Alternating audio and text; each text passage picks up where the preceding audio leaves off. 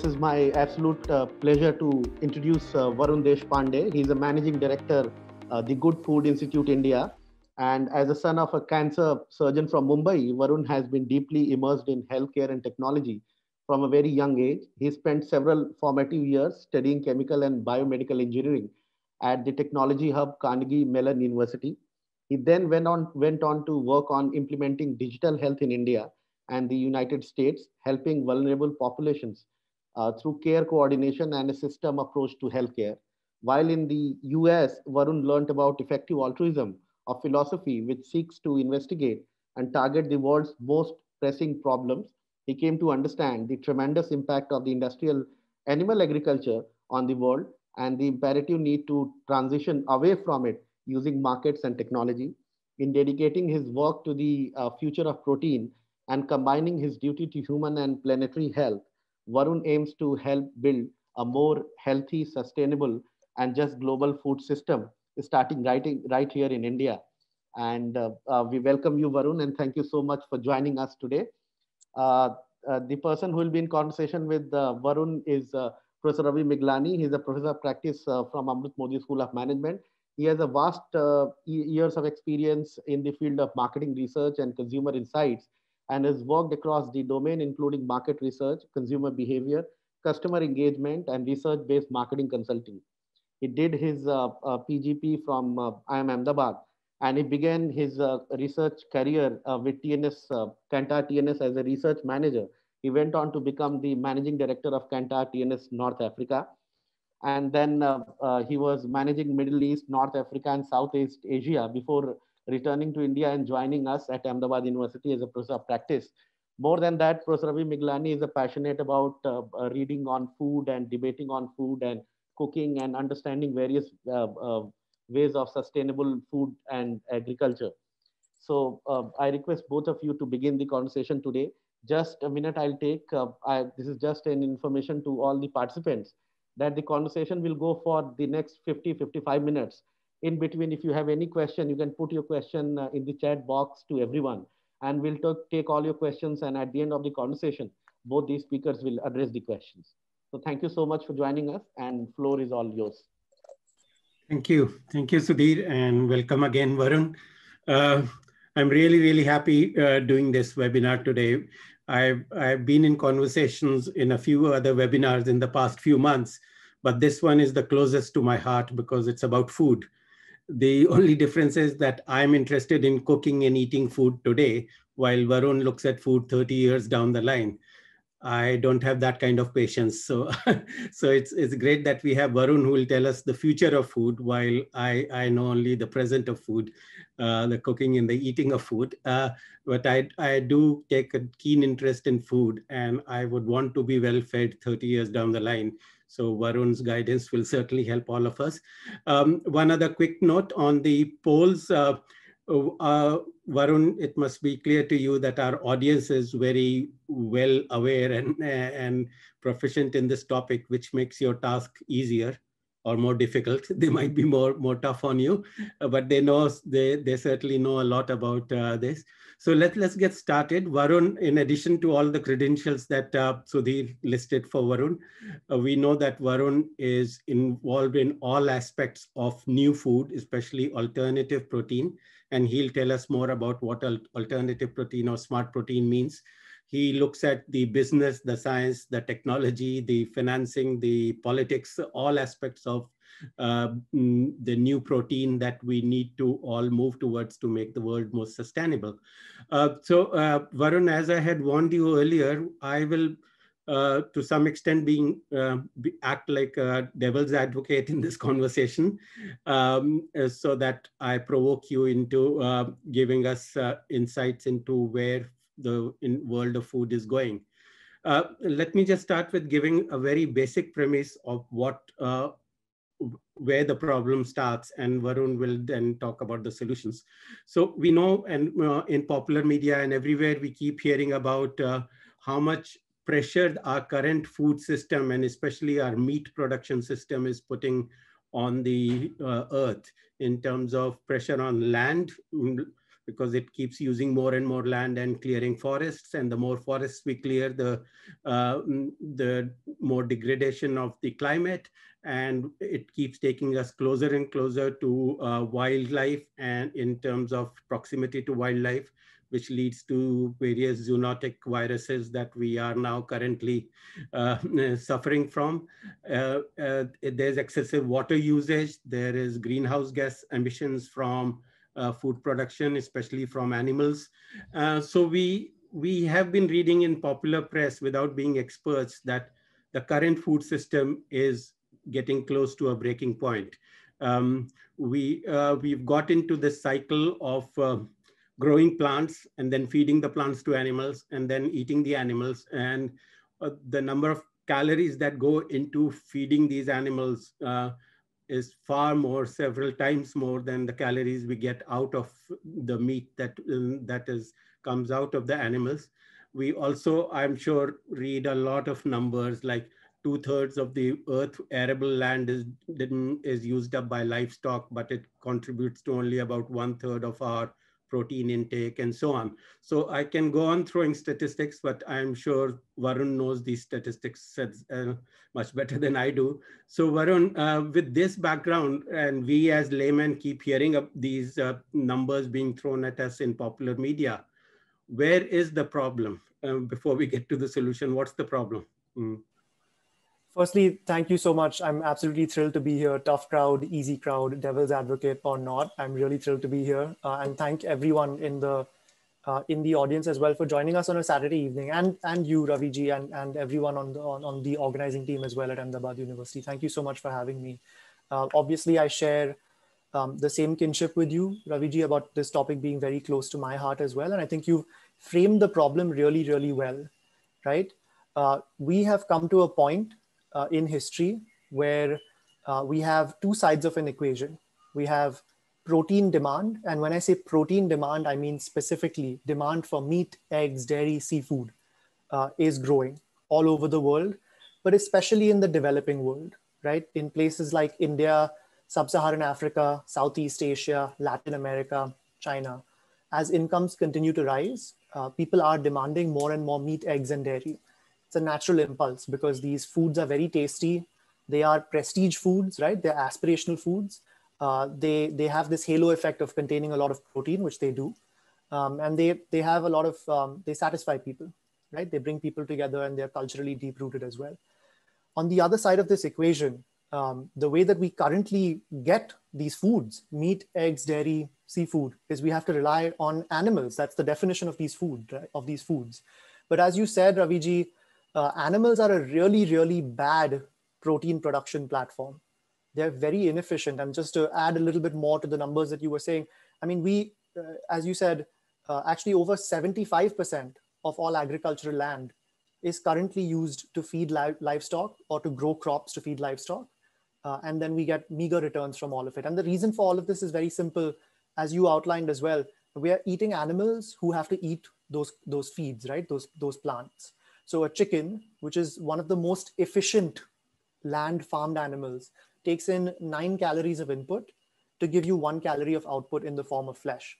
And again, the reason for this is quite intuitive. You and I are sitting here having this conversation. We are burning calories, right? So same, same thing, a chicken is a living, breathing organism. You know, eh, whatever it's doing, it, it's metabolizing, it's growing feathers, it's growing beak. It's, it, it's got all these, these things we don't need. And that's why it takes nine calories of input to give us one calorie of output in the form of meat. And you know, pigs are much worse than that. Cows are much, much worse. Fish, depending on the fish, are usually much worse than that. So we are using all of these resources, land, water, energy, and emitting all of these greenhouse gases and other effluents in order to get quite meager returns. So that's kind of the root of the problem here, but that's not even the end of it, right? So what we're talking about now is sustainability, and we've kind of laid out the problem. And people have been talking about sustainability and animal um, protein supply for decades. If you talk to anyone from the UN, from uh, the Eat Lancet Commission, from the Intergovernmental Panel on Climate Change, all of these expert organizations that are focused on sustainability, they will tell you that if we care about ocean dead zones, ocean acidification, greenhouse gas emissions, deforestation, climate change, global warming, anything under the, the ambit of sustainability, then this whole scale up of industrial animal agriculture is one of the top two or three problems affecting any of those things. And so we should care about it, right? But it's not just that.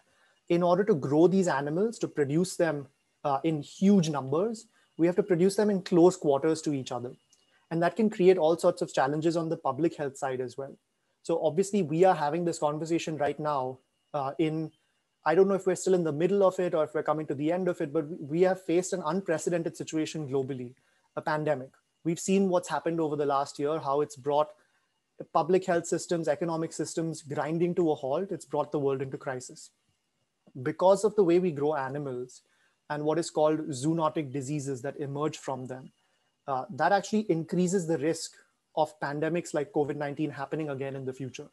Right. So, again, UN Environmental Program uh, or any of these other groups, they'll tell you that zoonotic diseases are the primary cause of global pandemics. There's a reason why, if you just think about it, um, swine flu, avian flu, all of these things emerge uh, from animals, right? There's a reason why the, these, these names are now inside our public consciousness, but perhaps we haven't thought about it as much. In fact, all across the country right now, avian flu is affecting the supply of poultry, etc. right? So uh, all we need is for more of these diseases to jump from animals to humans, and then we can get future epidemics or pandemics. Equally, we have to feed the animals antibiotics also to keep them well, which creates another twin threat to public health. So you have these zoonotic diseases, and then you have potential antimicrobial resistance. So don't take it from me, take it from the former health of the World Health Organization, Margaret Chan, she said a few years ago that uh, it could lead us, this system could lead us into a world where common infections will once again kill and it'll be the end of modern medicine as we know it right? So this is like it could throw us back into a pre-antibiotic era and it's going to take you know billions of dollars of research to transcend this problem. Whereas it's happening because we're feeding the vast majority 70 plus percent 75 plus percent of antibiotics to farmed animals instead of to humans right?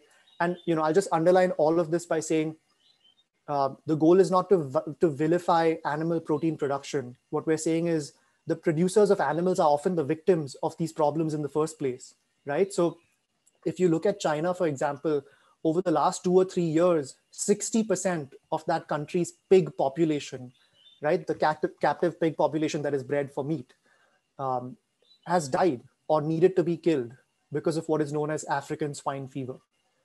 And that country is so dependent on pig production economically that they jokingly call their consumer price index, the CPI, they jokingly call it the China pig index.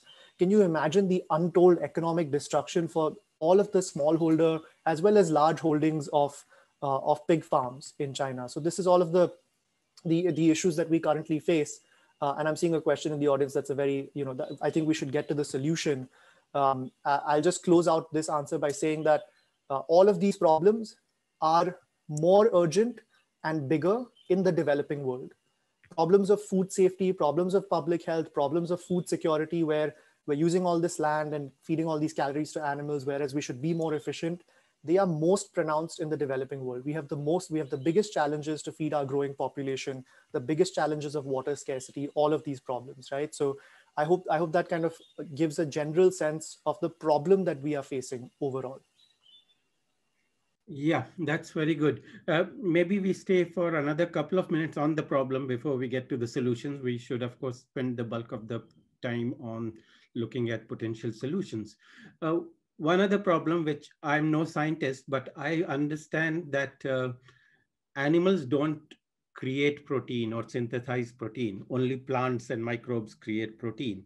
So how did the world, how did human beings get into this cycle of growing plants, getting protein, feeding the protein to the animal, and then slaughtering the animal to get the protein back and only a small fraction of the protein back. How did this loop start and what why why were animals part of this loop mm. frankly the loop didn't start because humans wanted to eat more protein the loop started because um, humans wanted to eat delicious foods and celebratory foods and they wanted to you know we domesticated animals some uh, you know hundreds or, or, tens of thousands of years ago, right? In in sequence, we domesticated different animals, and in fact, uh, imagine if we had domesticated pigs instead of dogs, right? Or you know, imagine if we had um, as some cultures do, eaten dogs instead of pigs. It, it would be complete. It, it's just kind of random in that respect. We would have just figured out the best strains of dog and just eaten the strains of dog, right? So there is a randomness to it, Raviji, but also humans. What we found, and you know this from your prior work in in market research, etc. Most humans eat food. They eat delicious food that that keeps them happy and keeps them satiated. They do not necessarily eat protein, carbs, and fats. They do not necessarily eat micronutrients. Those things give a halo effect to the food. So, you know, if something happens to contain higher protein, then the vast majority of the population says that's fine. Um, there's a top end of the market that says, I need my protein. I'm counting my calories. I'm counting my ma- macronutrients. But most people, they're eating food. They're not eating protein, carbs, and fats, right? So uh, it's because meat, eggs, and dairy are delicious, right? And, and, and I would argue that we shouldn't try and take away these things from people. That, that's where we get to the kind of solutions. Great. Okay. Um, I think let's get one question out of the way, which I'm sure a lot of lot of our people in the audience uh, are are thinking about. India is a vegetarian country. Uh, everyone around the world keeps saying India is a vegetarian country. So why is it all this relevant for India if we are a vegetarian country? Are we a vegetarian country?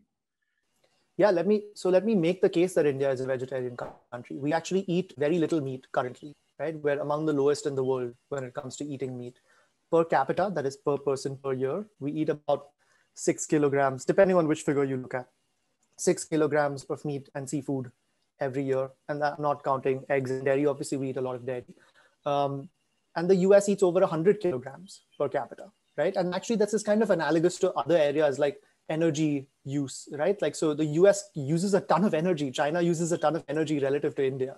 The problem arises because we oftentimes don't realize what the trajectory is and how quickly the trajectory changes, right? So if you look at any of the, the data, as well as marry this with kind of anecdotal, have one-to-one direct conversations, um, the consensus and the, the reality is that we will not be as vegetarian as this for very long. Firstly, 70% of our population says that they are non-vegetarian. This is in large scale government census level surveys, the sample registration survey of 2014 and then subsequent surveys as well.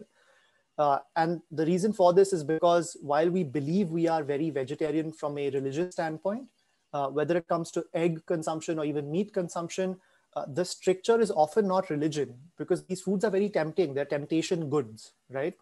um, the stricture is often income and supply of these things. So if you and I went to, so I live in Mumbai, about 1.5 kilometers away from Dharavi, the largest slum in Asia, right? Uh, if we went there and we talked to a family of four, they would say we're eating one mutton meal a week for 460 rupees. And if we could, we would eat two mutton meals a week for 920 rupees because, as I said at the beginning of the conversation, it's a prestige good. It brings people together, right? And people love to eat it. So as incomes continue to rise, this is a story that's played out pretty much in every country around the world. Meat consumption will continue to rise. And that's going to have all the terrible impacts on the planet, both locally and globally, in terms of water scarcity, greenhouse gas emissions, etc., etc. So that's kind of what we're looking to address here is we're looking to uh, address a problem that we're seeing five years, 10 years into the future. And all of the businesses that actually construct large scale poultry facilities or large scale aquaculture facilities will tell you the same thing. They're seeing COVID notwithstanding, COVID is nothing to them because they're saying 25% year on year demand growth locally for things like chicken. So that, that's a huge trajectory in terms of where we're going to go. And if you look at the maps from the FAO and all of these other organizations that map this stuff, um, they, they're going to tell you that the hottest zone for demand growth of all of this is South Asia, a little bit of Latin America, a little bit of China. Hmm. Okay, uh, so um, we are now um, uh, at doomsday or, or, approaching doomsday. It's like, a, as, as they say, a train wreck in slow motion. It's coming, but because we don't see a change day to day, we probably take it a bit uh, lightly, just like all of climate change, because we don't see things changing from today to tomorrow, we are not taking it seriously, but it is a train wreck. It will happen. It's just happening in slow motion. So, so problem established. So what do we do? What is, can we start looking at solutions from your kind of GFI point of view and, and a broader point of view? How do we get out of this uh, food cycle that we have got into? Mm. So over the last decades, people have identified this problem, right? They've been talking about it. There've been a bunch of books about it. More recently, media, media like documentaries, etc., have made an impact. And most of those approaches have, or most of those media, um, you know, most of those initiatives have focused on asking people to give up, asking people to sacrifice. They've said, please eat chickpeas, not chicken, right? Because they've said, oh, chicken releases 40 to 60 times more carbon dioxide per calorie of protein than lentils. Okay, so please eat lentils, not chicken, eat chickpeas, not chicken, uh, or eat, eat broccoli, not beef in other parts of the world. But that hasn't worked. so, you know, at the end of 2019, 2020 was a down year for everything. But at the end of 2019, um, even the Western countries where you're hearing a lot about, oh, veganism is taking off and this, that, and the other, uh, meat had its biggest year in history in all Western countries. Uh, so it's kind of, you know, the data indicates that those approaches simply have not worked, right? And it makes sense. Even for you, Raviji, from your previous life will say, look, you can't ask people to sacrifice. You have to give them a switch. You have to give them an alternative. So that's kind of the focus that we take at GFI and the sector that we represent and that we build and that we kind of form the backbone of. Uh, it's called alternative proteins or smart protein the goal here is to make what people want, but made in a different way that does not have the same burdens on the planet, on biodiversity, scarce natural resources, etc. Right? So we're talking about uh, different categories of foods that give people exactly the same taste of meat, eggs, and dairy, uh, but made in a different way. To give you an example, uh, plant-based meats are products that are made from plant or crop ingredients like soy protein isolate, pea protein isolate mixed with coconut oil, mixed with beetroot juice. And the focus is on going much beyond the previous generation of nuggets or soy chop. Those are consigned to history now. What we're saying is plant-based meats are focused on perfectly replicating the sensory and the cultural experience of conventional animal meat. This kind of started in the US because the US, as I said, is the biggest polluter, the biggest issue right? The, the biggest consumer of meat, the biggest consumer of beef. So these innovators said, look, like the Americans are eating three beef burgers a week on average, which is for all sorts of reasons, as we discussed, really, really bad for, for their own health, for the environment, etc. Whereas plants contain all the components that are in meat, right? So they contain protein, amino acids, they contain lipids, that is fats, they contain minerals, they contain water, right? And so can we look at all the research that's ongoing on creating um, replacements for meat and can we bring something to market? So companies like beyond meat and impossible foods poured dozens of millions of dollars into research to perfectly replicate the sensory and cultural experience of meat. So as i say you know if you're if you're an american and you are at a, a, a revered national pastime like a baseball game or a backyard barbecue you should be able to throw an impossible burger, which is made entirely from plants, or a beyond burger, again made entirely from plants, on a grill, get the same smell of meat, right? They even did research like at what frequency, sound frequency, do, does a beef burger sizzle, and they replicated that, right? To give you that perfect sensory experience. And these companies are now, they, they basically created an industry. They're doing incredibly well. Both companies are multi billion dollar companies. And I know you said earlier that this is 30 years in the future, but because of companies like this and because of scientific research and, and policy support, this is actually the leading edge of food innovation today. So plant-based meats, just to repeat, are a category that's that's blown up globally and in fact will take root in India as well. I take it we'll we'll talk a little bit more about the, what's happening in India a little further into the conversation. Another category that's an example, and I see people are writing about seaweed and algae and all of that in the chat.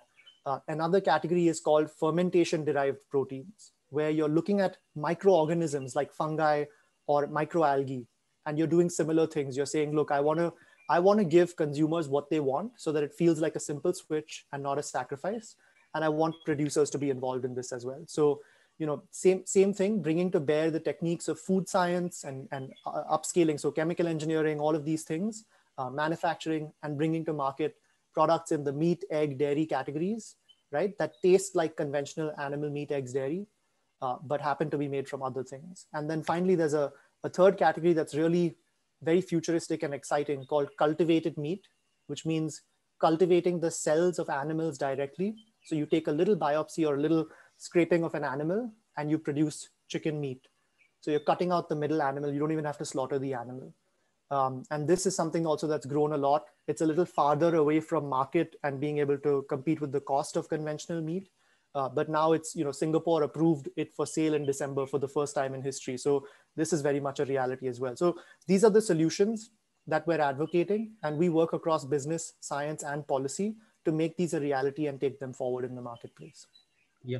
Okay, great. So just to get all the terminology right. So mm, you've used many words, alternative proteins, smart protein, cell-based protein, um, uh, clean meat, cultivated meat.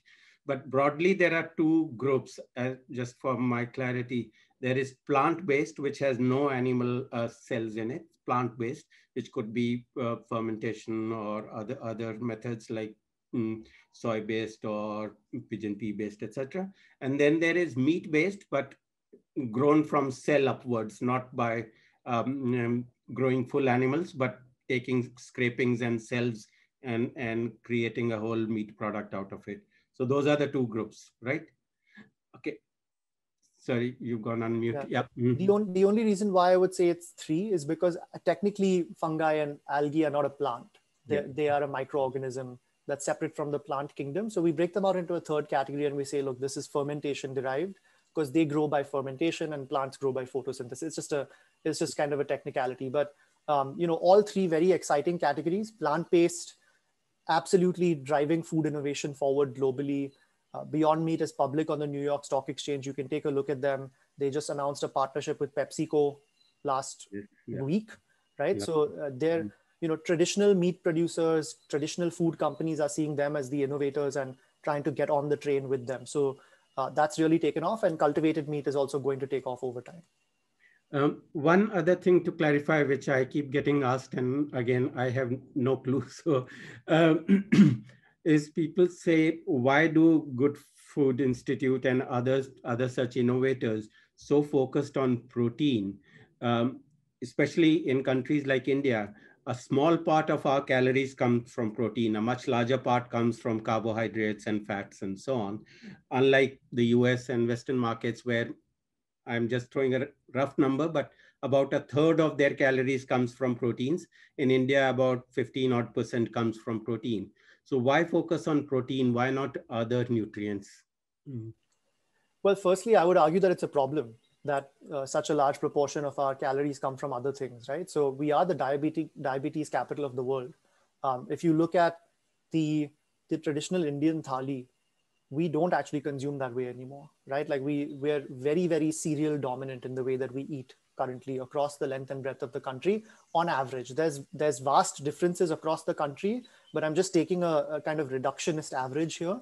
Like for example in the south and in the west uh, like west bengal there's a lot more meat and fish consumption than there is in north india. But just taking a, a, an average we have far too much cereal consumption. So it is a problem that our macronutrient mix is off um, but the main thing that that, that we want to highlight here is that even though you know it's possible to make cereals better or to make carbohydrates better and more sustainable and things like that the major problem the ticking time bomb is meat consumption.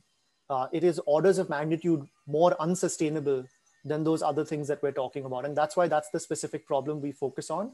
Um, and you know there are other organizations doing other things but um, this is the neglected huge problem of our time. Alongside energy transformation and then beyond that electrifying the transportation grid remaking meat is the principal problem of our time if we want to save the planet. Yeah. Okay. All right. Um, there there is this trend that is of uh, going high tech going innovative uh, getting to clean clean meat cell based meat plant based meat. But uh, again there are naysayers and i am kind of representing them today here. Is why not go back to the good old days. All of these things are caused by mm, industrial scale animal farming and clearing of uh, mm, forests for ranches and and and uh, mm, putting millions of chickens in small coops and so on. Why not go back to whatever you call it? Organic is a bit of a cliched word, but why not go back to the way you we used to grow food 50, 100 years ago and and we we are back to square one no problem. Is there a problem with that? Yeah because it doesn't work. We've been trying to we've been trying to do that for decades. We've been trying to tell people to, to eat differently for decades. And uh, while there are technologies emerging across the spectrum um, and you know some of those technologies will certainly help reduce food waste etc in other ways um, right now the genie's out of the bottle right? People are craving meat eggs and dairy. And who am i to tell them not to eat it so our goal is to make sure that we have the least impact on this planet absolutely shrink by orders of magnitude our impact on the planet down and still give people what they want, right? So you're exactly right. We are at a really bad place because of the industrialization of animal agriculture specifically. We are at this point in history where now we have to completely remake our supply chains and remake our protein supply. Uh, but we cannot, again, we cannot simply tell people to eat chickpeas, not chicken, because that doesn't work. And this is true at every level of the socioeconomic pyramid. Even at the top end of the pyramid where people are saying oh veganism is growing and all of this stuff is happening because their brother-in-law watched game changers and decided that the game changers documentary and, and heard a lot about this stuff and decided that they were going to be vegetarian. I mean anecdotally uh, every single one of us probably knows people that have made this pledge. And i can almost guarantee you they did not stick to it it is not a sustainable pledge to make my brother-in-law my sister my family are examples of this i do this for a living i'm mostly vegan. I eat a little bit of dairy here and there. Um, my family tried, and it's just incredibly hard to stay away from meat, eggs, and dairy. And from a social justice angle as well, like I said, um, you know, lower socioeconomic groups, it is not just for us to ask them to stay off meat, eggs, and dairy. If they want to eat meat, eggs, and dairy, if people at any level of the socioeconomic pyramid want to do that, we we can't you know stop them from doing it. We just have to give them means of doing it in a much better way. And i mean this even for producers. We need to give producers technologies and ways to do it much better and consumers ways to consume much better. That's our goal here. Yeah. Um, just as a corollary to what i said earlier i did not imply that we tell people to eat chickpea not chicken eat chicken, but eat chicken the way we used to eat chicken 50 years ago. What what is today in organic terminology has fancy names like uh, farm farm grown chicken and uh, uh, free free range chicken and free range eggs, as in not cooped up, not uh, industrialized, not uh, antibiotic uh, fed, etc. The way chicken and egg and goats and cows used to roam the farm and, and provide uh, good, wholesome food. Is that not workable? Because of the sheer quantity of that, that we need, it's not going to be workable. So currently, and of course, this could go down as, as scales go up. Currently, an organic egg costs something like 24 rupees an egg, and a regular egg costs four to six rupees an egg. I mean, who's going to buy that? Even I wouldn't buy it. Um, if I were, if I, you know, I care deeply about this problem. If I, if I ate eggs, I wouldn't buy an organic egg very often. I might do it once or twice and feel good about myself, but it's not going to happen in a sustained manner. So, you know, I think we can bring that price down, but incremental approaches are not going to really help us here. Um, and this is borne out by the data as well. There's been, you know, very recent research reports that say that regenerative agriculture, etc., all all great solutions generally um, to gen- to some specific problems like soil health, etc. But in terms of planetary health overall, they're not going to solve the problem. Um, and in fact, you know, currently people, you know, I, I could fool myself very easily into thinking I am by doing that. So any of the research, any of the surveys um, that again, you would be an expert in any of the surveys will show that Americans and Indians want to eat organic. They'll say that 20, 30% of them say we want to eat organic, whereas like 0.5% of the population actually buys organic. Yeah, just, that is an issue off. which, as a market researcher um, by um, by profession, I know that if you ask people, they'll give you uh, the politically correct answers. They'll tell you, yes, I want to um, um, eat uh, healthy, I want to save the planet and so on, but uh, doesn't happen because uh, uh people, uh, uh, incomes are growing and therefore people want to eat well the way um, people in aspirational cultures eat and, and so on. So asking people questions doesn't help and we need far more subtle ways of going under the skin of the consumers to see what what are they motivated by. And and i completely second your earlier comment a few minutes ago saying that we can't tell people to eat better for the goodness of their heart or for doing well for the planet or to save the planet. That doesn't work. We see it from all other I mean, we've been telling people not to mm, to to use less fuel, to use less plastic, to use uh, sustainable materials um, hasn't made a huge impact. There are some uh, um, um, symbolic changes. Um, Starbucks starting to give you paper straws rather than plastic straws, but those those those are tokenism. Those are not going to change the world. So people will be convinced only if they get a good answer to the question, what is in it for me? Not what is in it for the planet, because deep down, we don't care about the planet. We care about our, our enjoyment and our family's enjoyment at dinner time, not what it'll do to the planet 20 years down the line. So, yep, completely agreed with that. Yeah, sorry, you you want to. And just to respond to that, look, I'm here to say that that's totally fine. That that makes complete sense, as you say. Like that's not, you know, we we're not here to moralize about it. We we want to take morality off the plate, right? Like we want to not tell people uh, to eat less, and you know things like bans, etc. Governments have banned single-use plastics in some in some places. I think um, overall, uh, if you go and talk to vendors who've had to switch out single use plastics for other things, or if you go into the medical industry and talk about say, switching out single use plastics for other things, it really disadvantages the entire supply chain. What we need is transformative innovation that brings us out of these situations. And that's what we're going for. And just to address the thing that what people actually want over and over again in every country in the world, when we test what people actually make buying decisions based on, no matter what they tell you, they might tell you, I care about health, I care about the environment, I care about animals, I care about organic, I care about all of these things. It boils down to basically two or three factors taste, price, and convenience. That's it, right? In India, I might add, depending on the socioeconomic level in other parts of the world as well, I might add aspiration, like status, right? Consumption as a, as a marker of status. Um, but that's about it. And to the extent that it, it strikes me that we shouldn't even be conducting consumer research anymore, it's a waste of time. It's you know we don't even need to overcomplicate things. Let's give people products that taste the same or better and cost the same or less to enable joy and to enable consumption um, but made in a different way so it's not breaking the planet any longer. Okay um, oh, so I've, I've been looking at and you know them much more intimately than i do but these um, organizations like impossible and beyond beyond meat and so on they are mostly focused on synthesizing um, products that mimic meat in the form that most Western cultures would eat meat, like a steak or a burger patty and so on.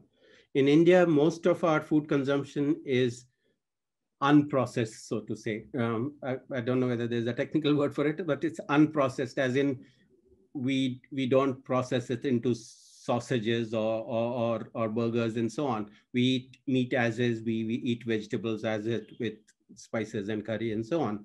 So will this these new forms of protein be able to match the form factor of the way we eat in India?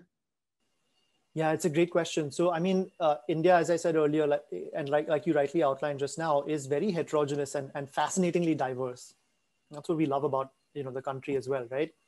From north to south, east to west, language and, and food and all of these things change every 200 kilometers, which is great. It does create some challenges for what you said. Um, in terms of the, the diversity of, of meats and, and even egg dishes and, and dairy dishes that are eaten, there's so much that we do. There's kebabs, curries, each of these things like kind of go change across the, the entire nation. Um, there's keemas, there's biryani. Biryani is emerging as a huge hero on platforms like Swiggy and Zomato biryani has grown a lot uh, because I think it's something like you can order in house that that gives you that indulgence of meat and that celebration. But uh, just one thing to note that these plant-based meats are highly versatile. So Impossible Foods went from Michelin star restaurant in the US with an Impossible burger to very quickly within six to eight months fast food in terms of cost competitiveness. Then they launched in places like Singapore and they were in 140 restaurants in Singapore within four months of launching and they're being served as the Impossible Beef Wellington, obviously entirely plant-based, at Gordon Ramsay's upscale restaurant in Singapore, as well as at a hawker center, which is a street uh, street vendor in rendang pie, which is a local dish. Even now, Starbucks has taken an Impossible rendang pie to market over there, right? So they've really focused very quickly on getting into dumplings, really embedding into the local cultural context, all of this stuff that makes sense for East Asia. And we can do the same in India. So we'll see a lot of companies that have already launched or will launch um, that are going to launch things like kebabs, keemas, curries, etc. And we like to say we need to go beyond the burger in India. One thing I will note though is you're right. Up until this point, 90% of meat that is bought is bought organized at your local chop shop. Right? Not not ne- i mean you can pay them a little extra to do it i think to clean it and to, and to give you the proper like to, to give you a chicken breast etc but it's very unorganized informal. It's still processed right? To grow the chicken and all of that stuff is still processing and then to to chop it up and give it to you that's processing technically. Um, but uh, it's not the same as as in the west. But if you look at companies like licious meatigo fresh to home um, that behavior is is increasing. I mean, it, it's showing they've grown a lot, especially during the pandemic when people care more about food safety right now. They've grown, you know, 3x, 10x in the last several months, um, and it's showing that if you give people the option, granted it's much more expensive right now, but if you give people the option of convenience, they will take it, right? So I think even that behavior will change over time. Uh, going back to the topic, all all of it is just to say these plant-based meats are very versatile, and we're going to see them come out in a variety of different products. I would just caution for the audience that these are not your previous generation of soya chaps or soya nuggets that are already out there in the market. So if you've had a an experience of eating those things and said, look, like this doesn't work for me because it doesn't actually taste like meat, I would say have some patience because the companies that are launching now and will launch over the next few months will certainly get a lot closer um, to that 2.0 version of this, which is the next generation plant-based meat, not the previous generation mock meat or soya chap. So these uh, plant-based meats, uh, the reason why in the West they are made to look and taste and even sound like a, a burger patty or a steak or a, and in India, mm, companies are trying to make it look like the kind of meat that goes into a biryani or a chicken tikka uh, uh and, and so on means that this the target market for this is people who currently eat meat but since there's a large part of the country who does not eat meat and these plant-based product proteins are certainly very good source of protein for everyone why are we only focused on mimicking meat? Why not make these into new forms? It doesn't have to look like meat because obviously the moment it looks like meat you're cutting out the people who don't eat meat. Mm-hmm. Yeah that's very well said. And i think other categories like tempeh or tofu even jackfruit, all of those things that don't quite approach this level of mimicking meat are growing and will continue to grow in India, right? And you know, all of those things are great because they'll satisfy, especially vegetarians. Even non-vegetarians will try them and eat them on occasion. Maybe not to replace meat because they don't quite get there. Uh, but you know, those kinds of, um, I guess, whole foods, plant-based products that are on that side of things uh, will continue to grow, and we're happy about that. That that's all good stuff. In fact, the they don't even need as much help because there's there's less development. They've existed for some time etc uh, but what we do the, the, the problem that we are really trying to solve is uh, the problem of giving meat eaters a switch that makes sense so that they don't just go back to eating meat after trying to eat fully plant-based for some time and saying okay jackfruit isn't cutting it for me. I'll just go back to eating mutton. Right? So that that's kind of uh, what we're trying to address here.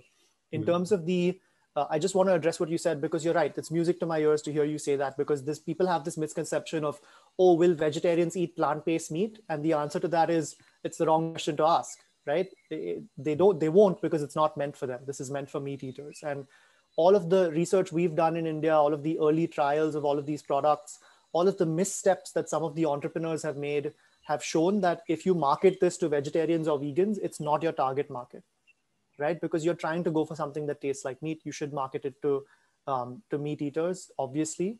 Uh, the early adopter cohort for this looks very much like their international counterparts. So people in places like uh, Mumbai, Delhi, Bangalore, Chennai, hopefully a bunch of tier two, tier three cities as well, Pune, etc., um, which is where I am right now, Pune, by the way. Um, they would also be looking at this in the same way that people in Singapore, Hong Kong, New York, Sydney, London, etc. are. So they're already consuming like their global counterparts. They're already ordering in a lot. They might be double income households, no kids households, high disposable income, uh, eating for the planet, right? And then the hope is that we can transcend that initial early adopter cohort, which is about 30 to 50 million, 75 million in this in these urban centers, and then go for a truly mass market solution, which gets to the point of targeting what I said earlier, even down to the price and taste that satisfies someone in an urban slum. So we can deliver great, affordable, tasty nutrition that is delicious and aspirational to everyone. That's the hope. Mm. Okay, and looking at it from the other side, we have um, of the story, we have been looking at it um, from the consumer side and from the planet side. The third stakeholder no pun intended, the third stakeholder in it is the people and companies and uh, mm, involved in the legacy meat production industry. Are they not going to sabotage this whole um, uh, plan because this kicks into their livelihood very directly? What is in it for the current legacy meat industry? How are they supposed to survive this? Mm. So interestingly enough, globally, and you know, I think it sounds intuitive once you kind of talk through this. Um, the the biggest supporters of this, to a great extent, um, aside from the the initial kind of category creating startups themselves, have in fact been the large conventional meat producers because they see this as an opportunity to stay abreast of things that are coming on the horizon. Right? They want to be a part of the future. They want to be a part of the transformation, and they don't want to be disrupted right? So if um, if you look at, for example, Tyson Foods, which is uh, the second largest meat producer in the world, the largest in America, they have a JV in India with Godrej called Godrej Tyson. Um, the CEO of Tyson Foods said in 2018, uh, if we can produce meat without the animal, why wouldn't we? Because they see the writing on the wall, right? So uh, nine out of the top 10 US meat producers have already invested in or started their own line of plant-based meats. And this is only going to grow right? And this is happening all over the world. It's happening in Canada, Europe, etc. So we expect that the big food ecosystem, especially legacy meat, will definitely get involved in India as well. I think it'll take a little bit longer because we have to see those winners emerge uh, in India. And as I say, the, this current cohort of emerging companies, we might see a big winner emerge from them. So hopefully they'll get in on that. One, one thing that always happens when you tell people in countries like India and other developing countries to save the planet and save the environment. The, the obvious and in, in fairness, mm, uh, a very justified retort is when the West was moving into meat consumption, growing their meat consumption, getting into industrial meat, or when the West was industrializing and destroying the planet, uh, no one cared. And now that we are beginning to get the money to eat real meat, you are telling me to eat uh, fake meat. so how do you address that? Is i mean the feeling is that it's not fair. Americans got to eat meat for half a century without anyone stopping them. Why are we stopping us now when we just about can afford it? Mm. yeah the, the way to address this and it's a very fair criticism and, it, and it's true also in energy consumption and all of those other things right? Like why this is it doesn't it doesn't make any sense from that perspective. We're not even consuming that much relative to them. Um, the way that I would think about addressing this problem is to set a very, very high bar for plant-based meat, cultivated meat, fermentation-derived meats, etc., and, and eggs and dairy as well, by the way. We have to be able to supply products that genuinely taste the same or better and eventually cost the same or less, that supply the nutrition, the aspiration, the temptation, the indulgence of meat that happen to be better for the planet, right? And we are talking about, we're talking about making a better product. I'll give you an example right now accessibility of meat in india is very low because of income right? As incomes continue to rise meat will meat will continue to be consumed. But will people in india be able to afford a bluefin tuna or a, a luxury meat like that? I think that's going to be really difficult in perpetuity. So what i'm saying is let's look at making even the best meats in the world available just made in a different way. A bluefin tuna currently costs $5000 per pound by weight because it's a species that's hunted in the Pacific. These, huge, huge fish, and because we hunt them, they are down to 3% of their population levels.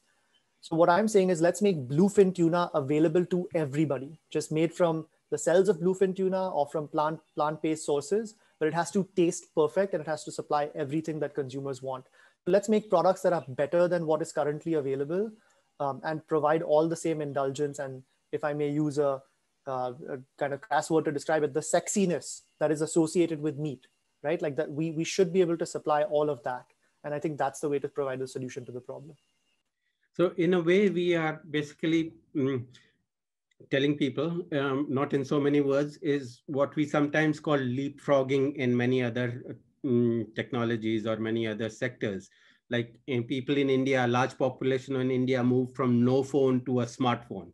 We, we leapfrogged over um, the old style um, dial-up phones and, and so on, and, and, we landed from no phone to smartphone, or we landed from uh, mm, complete from no banking to digital banking. Like most people in India were unbanked and they suddenly leapfrogged into Paytm and PhonePe and, and digital banking.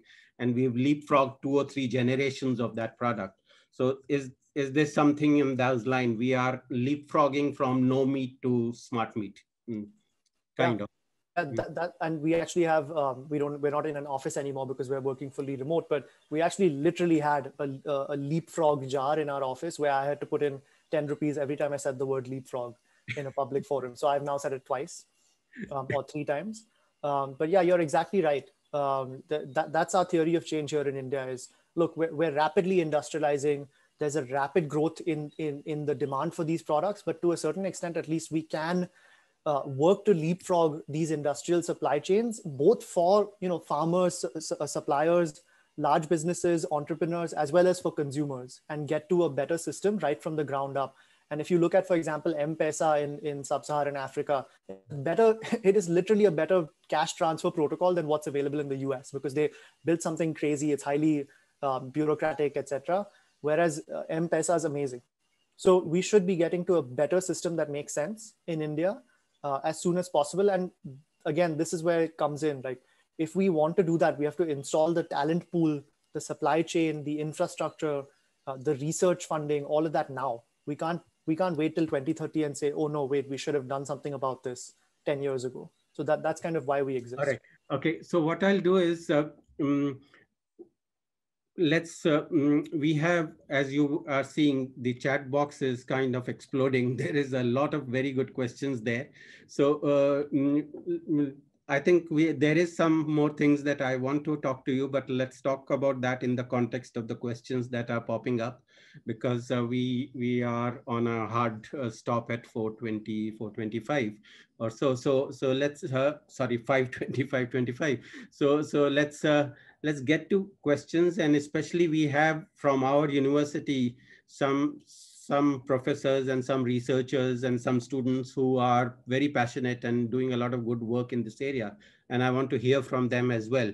So, um, so Sudhir, you, you can, um, uh, maybe Sudhir, can we first hear from uh, of course, uh, Professor Balaji Prakash, he is our uh, resident expert in this area. He knows much more about it than I do. And let's hear from Balaji and his perspective and if he has questions or comments. And then uh, from a few students and other people in the audience. Hi, yeah, Balaji. yeah, Hi, yeah, thank you, Ravi. Uh, I honestly don't have much to add here.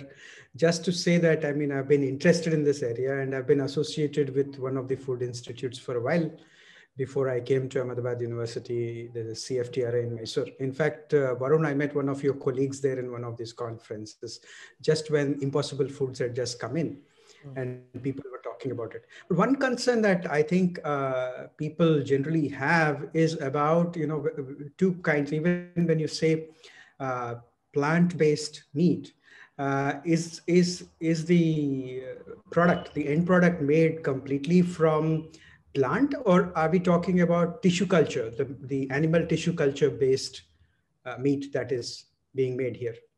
Because from, for an Indian population, I think this, this might be an important chord to strike. I just so, uh, wanted yeah. Yeah, so just to clarify, plant-based meats are not made from tissue culture necessarily. They're just made from plant and crop ingredients, and they're, they're made using um, techniques that are quite commonly used in the food industry, like extrusion, etc. Mm-hmm to get to mm. a hmm. product that that has all the sensory attributes of meat. So there's there's yeah. no real need for tissue culture involved there. Uh, what mm. I hmm. mentioned with cultivated meat, that's the other category. Mm. That is used made using cell culture and scaling up cell culture. So these are separate categories. And in fact, as uh, Raviji mentioned earlier, uh, they are quite different in the sense that they both aim to do the same thing. Uh, but in terms of cultivated meat, uh, mm-hmm. it could not be branded with a with a vegetarian logo, for example, because those are actual animal cells. So if we yeah. if we if we made using cultivation of cells of uh, seafood, uh, a mm-hmm. let's say cultivated, um, let's stick with bluefin tuna, and, and if I were allergic to bluefin tuna, generally i could not eat mm-hmm. the cultivated version because it's biologically identical to bluefin yeah, yeah so yeah. yeah so i think these are two separate things and cultivated meat is currently very expensive uh, mm-hmm. as, as a process that is the big so it's very very expensive as a process yes. it it very rapidly as we scale up comes down in price but that's the major challenge there and in fact now as i mentioned earlier governments are seeing it as a viable as another viable solution so this all comes under this broad umbrella of alternative protein or smart protein, just different categories, different solutions to the same problem. So uh, coming back to that, you know that the as people perceive it, if it is the plant-based protein, what about the amino acids that you're going to miss? Standard uh, biochemistry textbooks uh, teach you this. That there are some amino acids that you miss as when it comes from a plant. How is that being taken care of?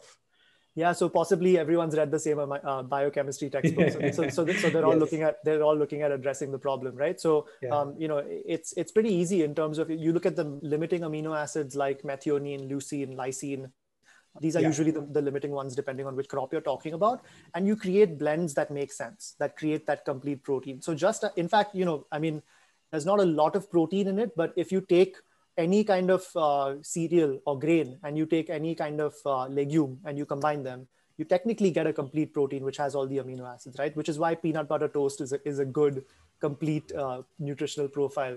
So similarly, what people have done with plant-based meats is they've seen around this corner. They're quite brilliant people from a biochemistry okay. standpoint. Said, sorry, yeah. So they've they've said that this is what we, this is a problem that we want to address as well. Uh, mm-hmm. and they've they've done they've taken care of not just that protein quality but also things like micronutrient density things like iron bioavailability all yeah. of that stuff are being looked at as well Okay. Yeah. Thank you, Ravi. I'm okay, Bal Balaji. Thank you. We we yeah. might uh, come back to you in, in the next few minutes. Uh, uh sure. um, one other um, one part which, for paucity of time, we did not get into. We we spent most of the time talking about meat and mm, and solutions to the meat situation. We did not get much time to talk about dairy. And our colleague, Professor Puneet uh, Arora, uh, has a question in that area. Puneet, are you able to come on camera and ask your question? Hi, Varun. Uh, so firstly, I mean, that's a great uh, discussion that we've uh, attended today. Uh, so I'm, I'm a vegan and uh, I turned a vegan about eight months back from being a vegetarian like before that. And so because I wasn't consuming meat, so, so meat was never a problem for me but uh, as a vegetarian i mean milk is a big big milk or uh, other dairy products is a big big uh, chunk of your consumption basket right? So uh, and today like when i go out uh, uh, like i cannot have any dessert. I mean i have to go to special vegan restaurants to to get hands on dessert.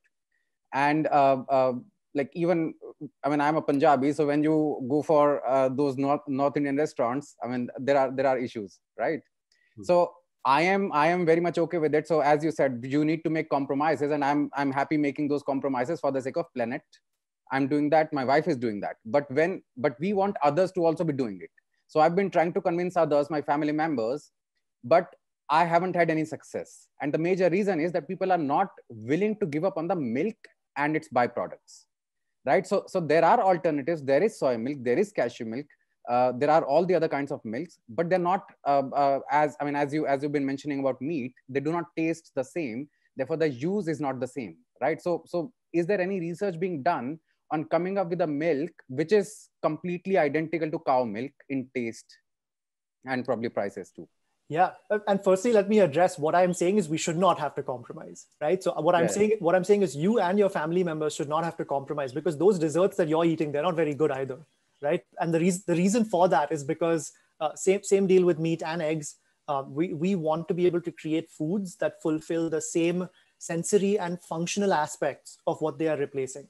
And milk is so versatile. Cow's milk is so versatile. It has a specific set of parameters that we as humans have molded to over millennia, right? So we have we have created foods and things like that that that leverage those specific parameters and qualities from a biochemistry standpoint of cow's milk.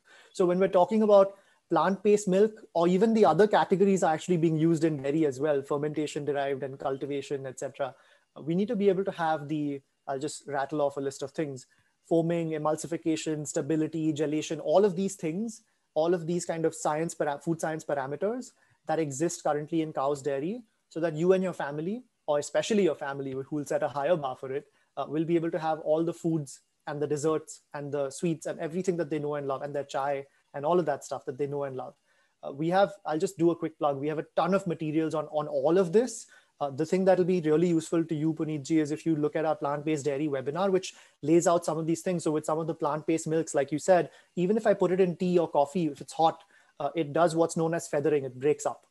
And you don't want that. You want it to behave exactly like cow's milk currently does, or it won't feel like a simple switch. It'll feel like a sacrifice, right? So I, I would love to share any of these materials with, with anyone that's interested to learn more about this space from a technical or a business standpoint. Um, um, Thank you. Varun, um, one of the hats, in addition to being a cook and a uh, eater and, uh, and trying to be a professor, I I mentor a club, an extracurricular activity club in our university called the Food Club, predictably, which is a fun club for cooking and eating good food, really. Um, but it's not into the kind of uh, looking deep into the his history and future of food as you do. Um, uh, Nikita is a student who is uh, passionate about this and she runs that club along with her team. Nikita, you had some very interesting questions. You want to come on camera and ask those? Yes, sir. I'll be happy to do that. Uh, so, sir, my question is around uh, the commercialization of food. As we talk about the conversation right now, yet looking at the future of food. But when we actually leave this meeting, when we go out, we see companies like Licious Fresh, Zap fresh and so many other companies coming around and creating this new concept of you know a meat delivery to you. It's giving you convenience. It's giving you more than just meat. And people are turning towards it. So how do we uh, establish a red flag on the problem that we are talking about? How do we tell people that this is a problem and we are not supposed to go to this way but that way yeah, great question, Nikita. Thank you for asking it. And uh, so the, the answer that I would give is you don't. Um, I think that some some portion of your friends and some portion of your family will will make changes based on morality or because they can afford to, etc. As as Puneetji also said, though, um, will those changes be sustained if they find that that what they're replacing it with is not satisfying them? I don't know, right? And the answer is usually no. So what we need to compete with is exactly that. Is exactly what Licious and Zapfresh and Meatigo and and Fresh to Home and all of these companies are doing um, is to build out the supply chain, the infrastructure, and most importantly, bring products to market that taste the same or better and cost the same or less. That's the only way we're actually going to, because telling people to go this way or that way um, is just not a reliable way of getting them to change anything. I think giving them alternatives. But the good news is, you know, like like I was telling Raviji, the conventional meat producers, which includes the mega food companies globally, but also people like Licious, Zapfresh, Fresh to uh, Fresh to Home, Meatigo, um, you'll see quotes from them in the press about this, are interested in this space because they see themselves as, you know, pro- protein companies. Their their meat doesn't necessarily have to come from a chicken, right? As long as they are growing and they're giving consumers what they want, um, but they, they'll want to adhere to like really high standards of taste and quality, etc. And that's what we're there to work with those companies and, and help them bring products to market as well. So that that's our hope is it'll happen, and that'll be amazing, right? For for conventional meat companies that are seen as the the authorities in meat, because you look at a Licious ad and it tells you everything. It says look i'm making this completely convenient. You don't have to go and haggle over the the price and think okay eh, how much of this is bone and how much of this is actual meat. And you don't have to go through that disgusting process of going to the chop shop and seeing it happen. We're going to make this really convenient for you. That's why they're winning uh, for them to now launch a category a, a product in a new category like plant-based meat um, will be really validating to the entire concept and that that's what we're hoping will happen so without giving too much away we think that those kinds of companies will launch stuff in this space as well. Well, another part of our university uh, is uh, we have centers of excellence in various areas. We have a global center for environment and energy, which is um, does some very cutting edge research in climate change and other other areas of environment and energy, and it's led by professors who are closely involved and working on some committees of IPCC and so on. So, so it's a very recognized center, and we have a researcher in that center, uh, Ayush Panara. Uh, Ayush, you have a question for Varun, right? Are you, are you able to come on camera and ask that? Uh, yeah. Uh, so the question that I wanted to ask to you is uh, the way existing plant-based nutrition is being commercialized by the big food companies. Do you think that there is a scope for individual researchers like us to develop and deploy solutions that focus on sustainable protein alternatives? I'm asking because I'm currently working on a carbon negative plant nutrition that comes at a cost of one US dollars. But I'm an individual and the current trend is quite big. So just wanted to know, is there any chance for individual researchers like us to develop and deploy solutions? So I'll, I'll address this in two parts. The first is just the general system, how it works. And then the second is talking about like the science of it and what the potential is on that side. But the, the first part, I think, you know, there are some forces that are a little bit over our heads in terms of technology transfer and commercialization and the support that you could receive as an individual researcher to bring something to market wrap a company around your innovation and just take it to scale right? I think yeah. those things become difficult and you know india has a very very um, fast growing entrepreneurial ecosystem right? Like there are a lot of pieces aligning very quickly now with capital both international as well as uh, domestic crowding towards um, venture uh, venture startups etc all of that stuff right? There's a lot that's happening in that space and obviously this is not new. It's been happening for decades especially the last decade. And we're seeing a lot of um, exits and you know flipkart was bought for this these many billion dollars 16 billion dollars. We're seeing a lot of stuff happening that's validating and so more and more money will crowd into that. So that's good news. That's all good news. The bad news on that side is that we don't have a great track record currently on on on spinning out technologies from universities right? And maybe that's a conversation we should all have raviji and, and everyone on this call at some point about how to create a thriving technology transfer ecosystem out of indian academia. Um, the second part is um, you know, the research you're doing is very promising. And I, I, can give you countless examples from our sector, which is, of course, plant-based meat, eggs, and dairy specifically, and the ingredients and technologies that underpin them. Um, because you're working on plant-based, I'll focus on that. There's a company called Eat Just Inc. in San Francisco, which makes a plant-based egg, which fluffs and scrambles exactly like a regular egg, right? And they add uh, ingredients to it, and, they, and they've worked on a lot of stuff. The, the principal ingredient in it is mung bean protein now, the mung bean has been grown in India for 4,000 plus years. All right. And what they found, what, what Eat Just Inc. said, is they were looking at this incredible toolkit of plants, which has not been sufficiently leveraged. There's 392,000 species of plants that we know, and each of them have so many different varietals and all of that stuff. And they found that mung beans have a great mix of amino acids and other components that give you that functionality. All of the stuff I was saying earlier, gelling, foaming, stability, emulsion, etc., protein dispersibility index, all of these things that you know better than I, Ayush. Um, and so they created this product out of mung beans, right? So what you can do as a researcher is unlock the incredible value of this toolkit. And I think your, your question in the chat actually said Ayurvedic as well. Yeah, absolutely. Look at Ayurvedic ingredients, re-examine them, you know using the techniques and tools that we have available now at this time in history you can create characterization projects and understand them to a much deeper degree and utilize them in innovative food applications whether it's in our sector or elsewhere. I think that's what we should be focusing on and aiming all of this knowledge and this technology towards solving the world's biggest problems. That's why we are here and hopefully i take it that's why you're here as well ayush. Yeah. Okay. Thank um, Varun, we also thanks Ayush. Varun, we also have a um, uh, uh, an, an, area of research, both in teaching and research, uh, uh, called Biological and Life Sciences, BLS for short. And uh, Professor Balaji Prakash, who we talked to earlier, is uh, is in in that um, area, as well as Professor Vivek Tanavde, who is also a professor in life sciences, and he's done a lot of work in stem cells and related areas. Um, uh, if Vivek, you are there, if you can come on and maybe uh, Vivek and Varun, if you can uh, talk a bit, in addition to Vivek, any questions you have, talk a bit about what, what uh, career paths do students from BLS have and whether this new um, protein, alternative protein uh, sector has uh, career opportunities for BLS students? Sure, thanks, Ravi. Yeah. Yeah. So, Varun, I'd like to start off with a question, okay, and then we'll talk about the career paths. So, uh, you made a statement which said that um, meat eating is aspirational, and the, uh, there's a very positive correlation between the income of a country and its demand for meat.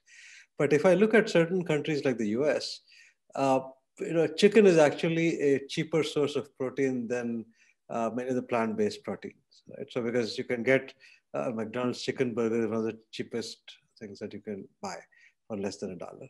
So the question is, uh, can we impose a carbon tax uh, on food uh, like we do in the transportation industry? So the airlines, the people who fly don't have a problem paying a carbon tax, uh, compared to a uh, less uh, demanding solution? And, and do you think this would be acceptable to people or, or would it even help in, then we are basically pricing the cost, the real cost of uh, growing that food into its price.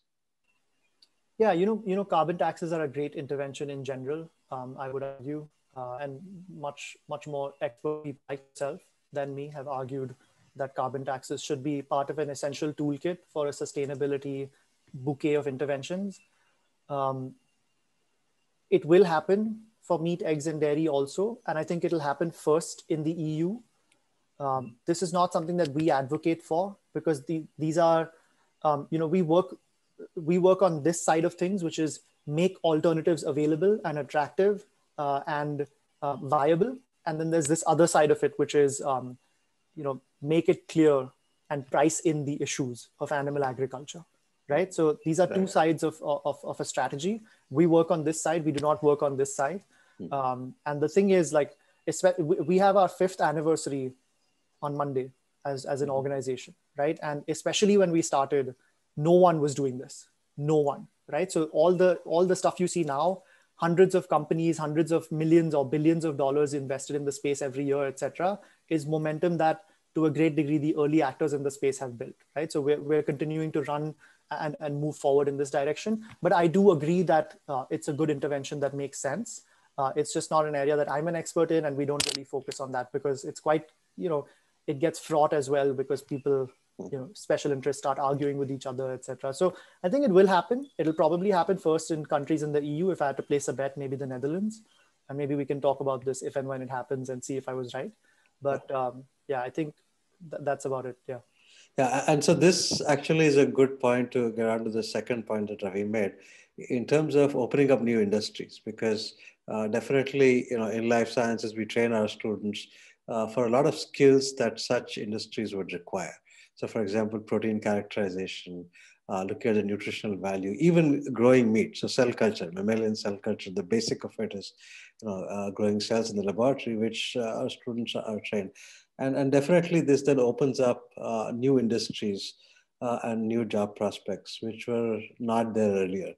And this is always, uh, you know, I think a good thing. So I do see uh, biology in general playing a more uh, significant role or a more prominent role in the uh, food production going forward than it has in the past.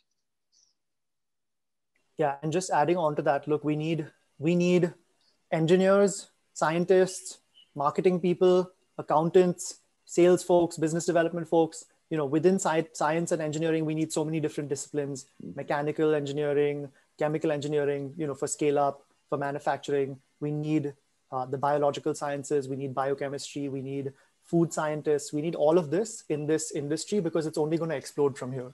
So, as I say, you know, a broad things the ecosystem compounds on itself and it just grows very rapidly. In india we're at the very beginning. We have a couple of dozen companies that we would say are credible serious coming to market in this space all right? I would say across all categories including eggs and dairy. Let's say about 30 companies. The great news is most of those companies 60 70% of them were formed or became very serious within the last 18 months right? And these are people like Riteish and Genelia deshmukh's imagine meats which we help them put together partnerships for product development and etc. So like with a lot of these companies, we've done everything short of actually filing the incorporation papers and making their products for them. We've provided advisory across the spectrum and helped them come to, come to the point where they are now. And our goal is to the ecosystem should grow so big that even we can't keep track of it anymore. It should be a thousand companies in this space and it should create a million jobs. That's the hope, right? So I think we're going to need all the people we can get. Um, and uh, I think you know your work and, and people at Ahmedabad University, if you'd love, if you'd like to join our network, um, you know maybe we should talk about university courses. We have specialized courses for this space that could leverage all of the other pieces that you already have in place. I think there's there's so much to do and it's so exciting. We just have to get started. Thank you. Um, so may, maybe Balaji, Vivek, and Varun, all of you should uh, connect. I think there is a lot of opportunities both for joint research programs as well as uh, um, talent pool and students and so on. I think we are running out of time. Um, Varun, you need to um, uh, run away in a couple of minutes. Maybe one or two last ones if you can, and two or three minutes is okay? Yeah, absolutely. If you don't mind, I'd love to address the question about economic prospects for this yes. space, yeah. jobs, etc., because yeah. that's come from Aneri right at the end there. Um, and yeah, I, I, so I agree. Actually, you know, the the animal industry currently employs a lot of people. Um, the thing is, a lot of those jobs are not, especially if you're in a slaughterhouse, it's not the best job in the world. You're the most susceptible to these zoonotic diseases, for example, right? Like, so swine flu out, you know, even last year during COVID-19, there were multiple swine flu outbreaks, which affect, there were 86, 86 people affected in Meerut in, in Uttar Pradesh from swine flu in, in around May, I think. So these things keep happening if you're a slaughterhouse worker, but generally um, it employs a lot of people. And especially on the smallholder farming side, these are animals are important assets that can get smallholders a lot of value, right? So uh, our goal is to not effect a disruption on those people. Our goal is simply to um, offer a diversification that addresses the, the big industrial scale part of this, right? And I think smallholder farming will continue, subsistence farming will continue with animals. We're not here to take away people's assets from them. So that's the goal. On the job creation side, as I said just now, uh, our goal should be to have scaled companies in this space. Um, you know, companies like Impossible Foods and Beyond Overseas, which are doubling the size of their workforce, doing a lot of really great work, uh, and create a lot of economic growth, such that it actually creates an entirely new industry from scratch in this country. And that's what we need. We're seeing it happen in other places like space tech, etc. That should be our goal here as well. Okay. Um, any other question that pops up to you, Varun, or to um, Sudhir, who you want to close with? Because I think uh, we, Varun will need to leave in a minute or two. Any burning question that you want to close with, Varun? So nothing is particularly popping out to me. If you don't mind, I might close out just by saying thank you so much. Uh, just hold on, I need to switch on my video again. I just wanted I just wanted to say once again, thank you so much, Raviji, um, all of you who have arranged this. Uh, it's been really, really wonderful having this conversation. Sudhir, thank you so much for everything and for your patience and everything. Thank you so much for um, yeah. It's been thank a really great, really great engaging with you, and I hope we can take this forward.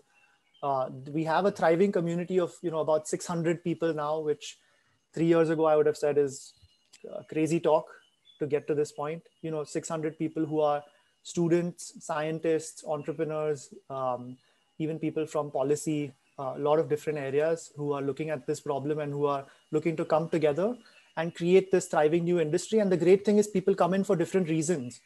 I would say inside our organization as well, um, you know, people come in, some, some people care about animals, some people care about sustainability, some people care about public health. As, as you mentioned, Sudhir, at the beginning, my full background was in healthcare. It was in public health. I was not in the in the animal welfare space or any of that stuff um, or even in climate change. So you know there's myriad reasons to care about this particular area. And um, you know a lot of reward that can come from it. It's an incredibly innovative and, and sexy area right now. So uh, we hope that we can do more together and take this forward. Great. Uh, so uh, we'll pass it on back to Sudhir to close out. But before that, as I keep saying in all these conversation series that these webinars are just conversation starters. They are not the end of the conversation.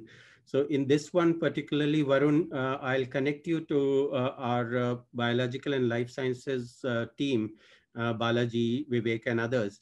And I'm sure uh, you all can do something together. I'm not technically savvy enough to say what you can do together, but I'm sure there will be things to do. You, so will you, you, will you at least cook and eat with us, whatever it is that we do together? Huh. Yeah, that's my contribution would be that. Yes. okay, Sudhir, we can close yeah, out. Thank you. Yeah, thank you. Thank you so much, everyone. Thank you so much to our colleague and student and other people, those who have joined. We could not answer most of the questions, but uh, most of them were answered during the conversation and others people can keep uh, uh, get in touch with you otherwise i think this topic needs another round of discussion uh, so we would love to invite you again uh, in june or july so that uh, we want to have a second part of this conversation so thank you so much everyone for joining us and see you on next saturday. And thank you so much varun. Take care. Take care everyone. And just you know you can contact me at india at gfi.org uh, you know our wonderful team members will take things forward with you. And yes of course we look forward to taking this ahead. Yeah. thank, thank, you, you. everyone. Take thank care. You. thank you. Bye-bye. Bye